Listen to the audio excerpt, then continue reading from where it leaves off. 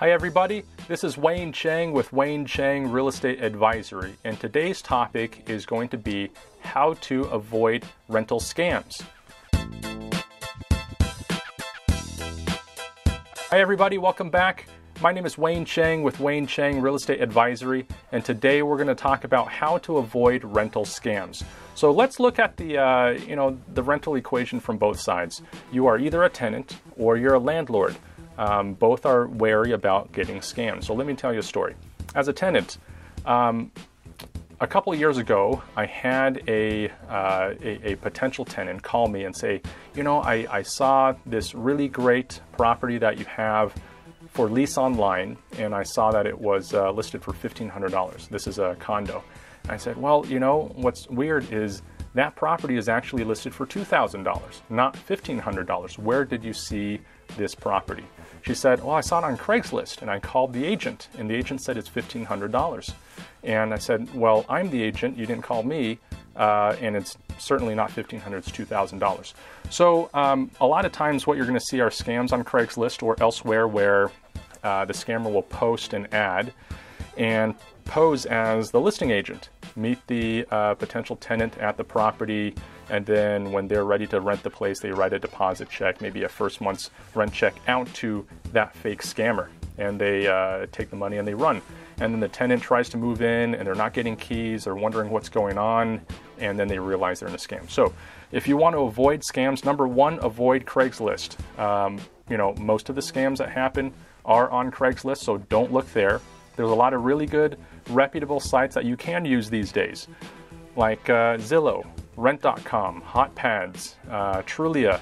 These places all have rental properties because they all pull data from the MLS and also homeowners oftentimes will post their lease properties directly on these websites. So that's a much better way to go. Also, before you write a cashier's check out to anybody, you might want to ask your agent friend or a title company or even uh, there are some other third party websites where you can check the owner on title.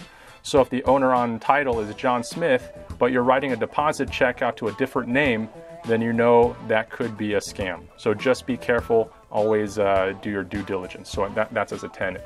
Now, as a landlord, um, how do you avoid scams? There's definitely, uh, I, I mean, a couple years ago, again, I ran into the situation, which was the one and only time I've ever done it. So in our industry, it's very standard as a as a landlord to accept a rental application from another agent. And usually that rental application is going to have the application itself, driver's license copy, a copy of their bank statement, credit score, and report, and a few other items that we might need.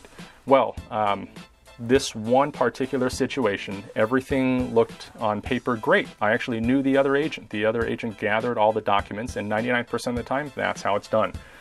And uh, it wasn't until you know a couple days before move-in, uh, I, I, we decided to uh, you know check a little bit more into the into their background.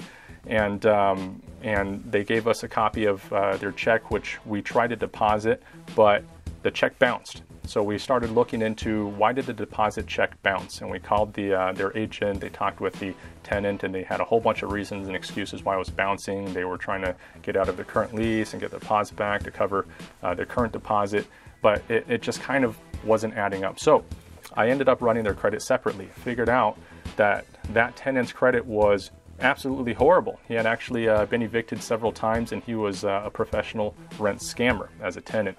And what he did was provide fake and forged uh, credit score, report, bank statement, all that kind of stuff um, to landlords. And he would stay at a place for maybe six months at a time, get kicked out, move on to the next one and the next one. So, as a landlord, what can you do to avoid these kinds of scams? Number one, never take personal checks, only take cashier's checks.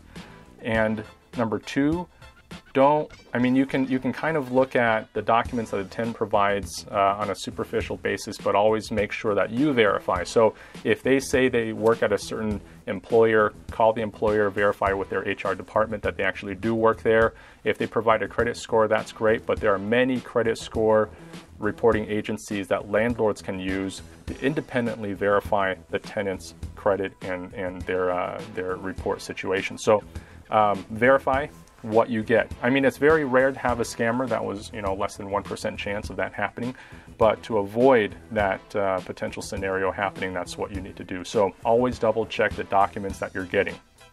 Okay, so that is the topic today. If you would like me to cover anything else, just let me know. Just contact me at the phone number at the bottom of the screen or shoot me a text, and I'll be happy to make another video for you. Again, this is Wayne Chang with Wayne Chang Real Estate Advisory. Have a great day. See you next time.